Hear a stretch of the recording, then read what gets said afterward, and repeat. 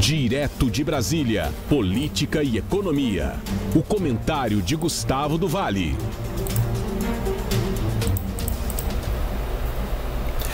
Vamos agora à capital federal conversar com o especialista em política e economia Gustavo do Vale, que traz o seu comentário de hoje.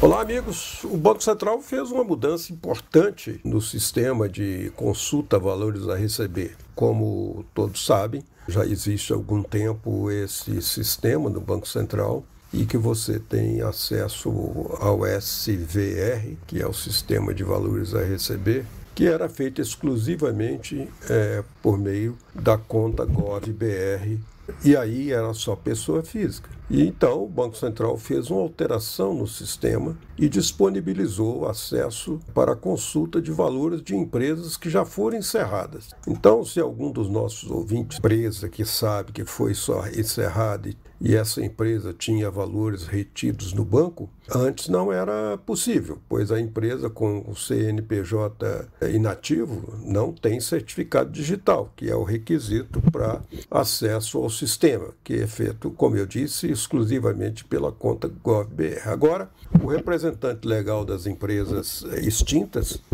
pode entrar no sistema com a conta pessoal GovBR, ouro ou prata, e assinar um termo de responsabilidade para consultar os valores. A solução aplicada é semelhante ao acesso para a consulta de valores de pessoas falecidas. O sistema informa em qual instituição estão os valores da empresa, CGC inativo, os dados do contato da instituição, a faixa e aí o valor. De posse dessas informações, o representante legal da empresa pode entrar em contato com a instituição e combinar a forma de apresentar a documentação necessária para comprovar que é o representante legal da empresa encerrada. A instituição aqui é a instituição bancária, né? Vale destacar que, nesse caso, não será possível so solicitar o valor diretamente pelo sistema. Né? Isso, é, é, ou seja, o sistema vai informar, mas, diferentemente daqueles valores a receber de pessoas físicas, vai ter que entrar em contato com o banco para que o banco possa fazer o ressarcimento. Mas